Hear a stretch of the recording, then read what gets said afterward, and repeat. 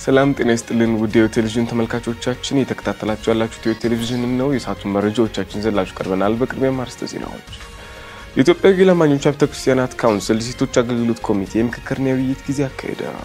ከውጭ በናይጄሪያ ታግተው የቆዩ አንድ መጋቢ መገደላቸው ተገለጸ። ከባሏ ዳጎስ ያለ ክፍያ ለማግኘት በሚል ልጇን ያገተችው እናት መነጋገሪያ ሆናለች።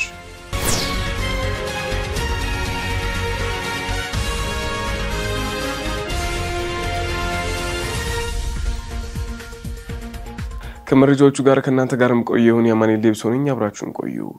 የኢትዮጵያ ወንጌል አማኞች ቤተ ክርስቲያናት ካውንስል የሴቶች አገልግሎት ኮሚቴ የምክክርና የውይይት ጊዜ አካሄደ። ባልደረባችን ለምለም ተክሉ ተጨማሪ አላት። የኢትዮጵያ ወንጌል አማኞች አብያተ ክርስቲያናት ካውንስል በመንፈሳዊ ዘርፍ አዘጋጅነት ህዳር 6 ቀን 2016 ዓ ም የሴቶች አገልግሎት ኮሚቴ በቀጣይ ጊዜያት ስለሚያከናውናቸው ተግባራት ምክክርና የአንድነት ጊዜ ያካሄደ ሲሆን የካውንስሉ አባል ቤተ እምነቶች፣ ህብረቶች፣ ministry ዎች፣ የሴቶች አገልግሎት ክፍል ተወካይ መሪዎች ተገኝተዋል።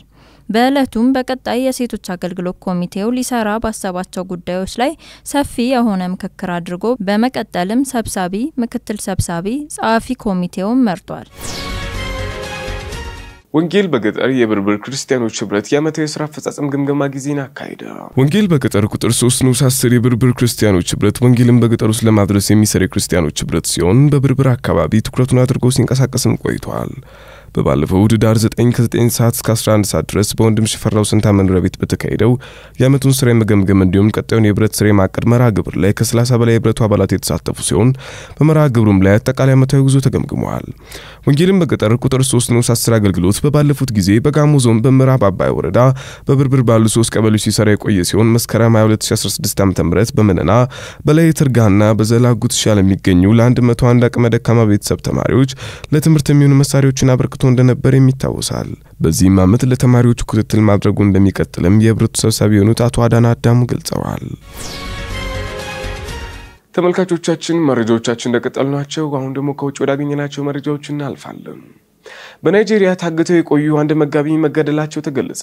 ባልደረባችን ለምለም ተክሉ ተጨማሪ አላት። በፈረንጆቹ ዳር 11 በኦባጃና አካባቢ ሎኮጃ ክፍለ ሀገር በእርሻ ላይ በነበረበት በታጠቁ አሸባሪዎች ታግቶ እንደነበር የገለጹት የቤተ ክርስቲያኒቱ አባል ዮሐንስ ኢማኑኤል በመጋቢያቸው መሞት የተሰማቸውን ጥልቅ ሐዘን አልሻሸጉም። እንደ ቤተ ክርስቲያኒቷ አባላት ገለጻ ከሆነ አሸባሪዎቹ ለመጋቢ ዴቪድ መለቀቅ 20 ሚሊዮን ኔራ አሊያም 23676 ዶላር ጠይቀው የነበረ ሲሆን ነገር ግን ከቤተ ክርስቲያኒቱ አቅም አንጻር በ1 ሚሊዮን ኔራ ወይም በ1183 ዶላር ተስማምተው ነበረ።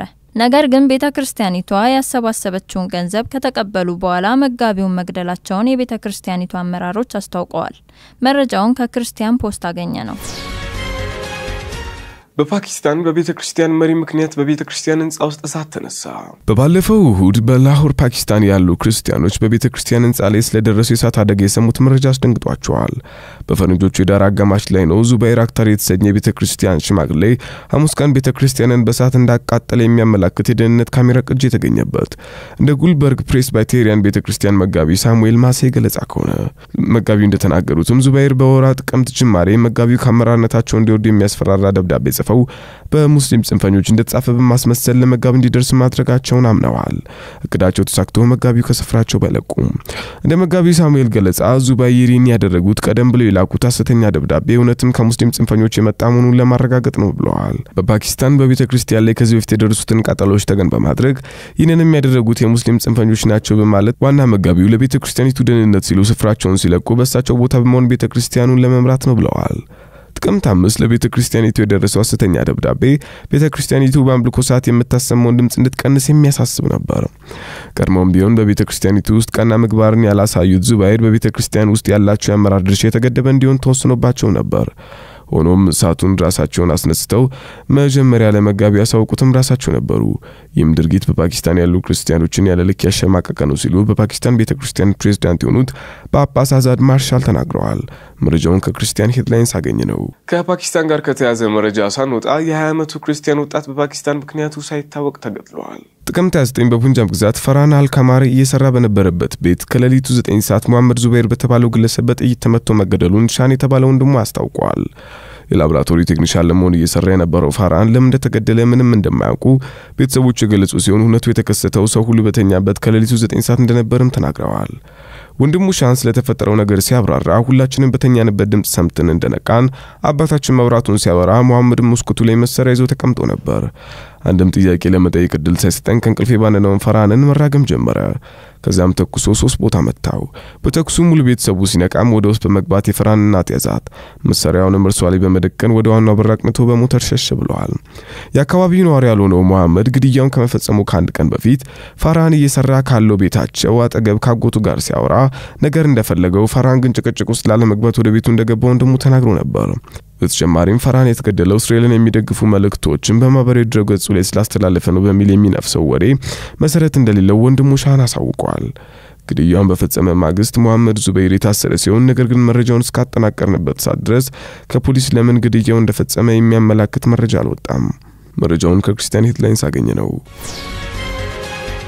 ተመልካቾቻችን አሁንም መረጃዎቻችን እንደቀጠሉ ናቸው። አሁን ደግሞ ከጤናው ዘርፍ ወዳገኘናቸው መረጃዎች እናልፋለን።